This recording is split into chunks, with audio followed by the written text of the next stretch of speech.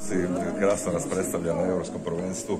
Danas smo ovdje zajedno na dodjeli nagrada Bjelovsko bilogorske županije. Čestitamo na nagradi. Hvala, hvala, puno.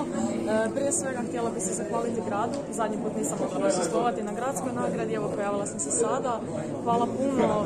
Više znači kad dobiješ u tuđini, negdje u drugom gradu, u drugoj županiji nego doma i lijepo je znati da neko prepoznaje tvoj rad. Kako su ti sada sa zdravstvenih problema?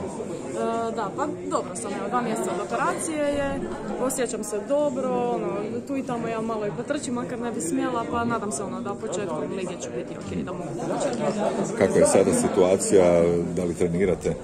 E, treniram da svaki dan idem u polikliniku na rehabilitaciju, po 7-8 sati sam tamo, muka je, teško je, po treći put opet, ali ono, znam da će se isplatiti. Jer, evo, prošle dvije rehabilitacije su se isplatile, nadam se da će i ova.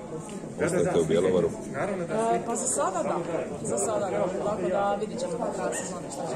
Osjećam se dobro ovdje, imam povjerenje kluba, uprave, ekipa i više nego da mi prija, tako da evo, vidit ćemo. Hvala.